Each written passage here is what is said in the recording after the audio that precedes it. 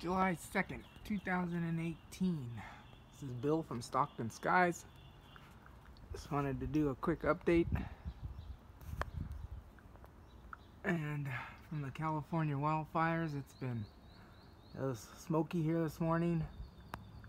Had like an orange glow on the sun. I don't know if you can tell now or not, but yeah, it was pretty smoky this morning. It still is. I don't know if you can tell or not. Probably not.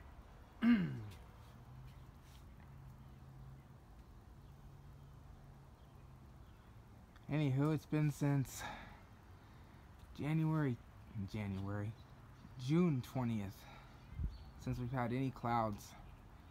It's been off and on, 100 degrees, down to 95. Today is supposed to be in the 90s, and then by the 4th of July it'll be 87.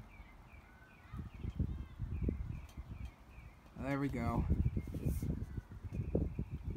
I want to wish everybody a happy 4th of July.